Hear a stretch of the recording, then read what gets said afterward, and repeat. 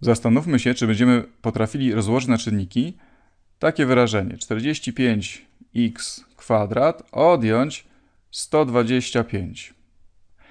No cóż, za każdym razem jak widzę coś takiego, że jest, że jest różnica, że jest jakiś kwadrat, to od razu mi się przypomina, od razu mi się to kojarzy ze wzorem na różnicę kwadratów, ze wzorem skróconego mnożenia na różnicę kwadratów, który już wielokrotnie się w poprzednich filmach pojawiał, wielokrotnie go już wyprowadzałem, no i on ma taką postać. Warto po prostu to kiedyś zapamiętać, że różnica kwadratów to jest iloczyn różnicy i sumy.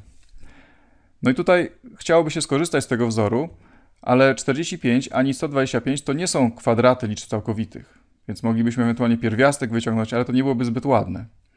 Ale mogę wyciągnąć wspólny czynnik, no bo zauważmy, że obie te liczby, 45 i 125, mają wspólny czynnik. Obie się dzielą przez 5. No to wyciągnijmy piątkę przed nawias i zobaczymy, czy to się może trochę uprości wtedy.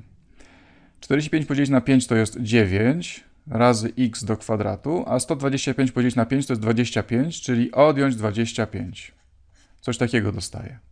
No i teraz 9x kwadrat to jest kwadrat czegoś, to jest kwadrat 3x.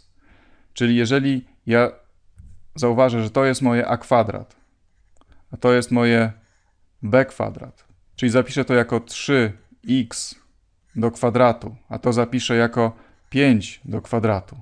No i mam minus, mogę dopisać tutaj jeszcze tę piątkę z przodu. No i mogę skorzystać teraz z tego wzoru skróconego mnożenia, który tutaj przypomniałem. I zapisać, że to jest 5 razy. I teraz mamy różnicę. 3x odjąć 5 razy suma. 3x dodać 5.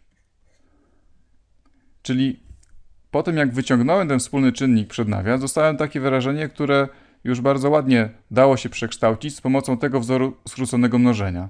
Wystarczyło zauważyć, że to jest kwadrat 3x, a to jest kwadrat 5. No i ostatecznie dostajemy taki rozkład na czynniki tego mojego wyrażenia, od którego zaczęliśmy.